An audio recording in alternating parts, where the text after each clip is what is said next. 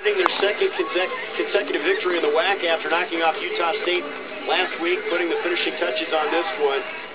We have had some amazing numbers 685 yards of total offense for Tech, 533 for Idaho.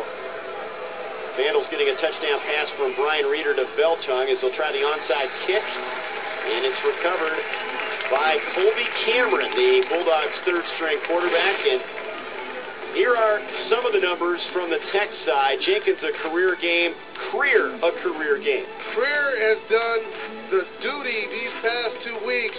He has just gotten it done, taking advantage of this offensive line split and this offensive attack. The way they pass the ball has opened up the lanes, allowed him to control the game. It's made this team a dual threat. They can hurt you on the ground, they can hurt you by the pass. Are there any, any doubts from uh, those uh, critics of the spread offense right now in this part of the country, huh? Think he's got it going? I, I think right now he definitely does have it going. And, and let's talk about this, simple fact that he kind of mentioned, you know, they have good athletes here and everything else, but there are particular people that they go and try to get to fit this system. So he's doing this without actually all of his pieces yet.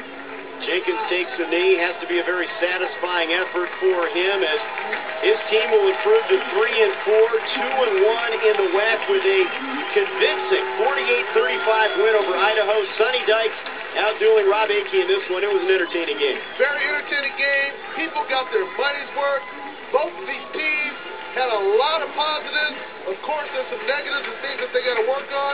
But these coaches have to be excited about the, fight so hard for four quarters, especially Sonny Dykes, to go two weeks in a row and to have his team surface and play against teams on paper that seem to be better than what they are. Yeah, it's a bowl team from last year, Idaho, who looked like a potential bowl team this year. 48-35, our final score. Louisiana Tech knocks off Idaho.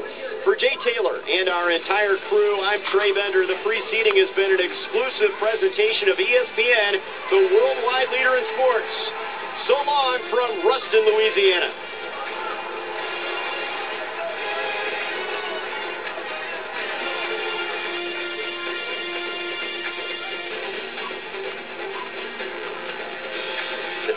but it almost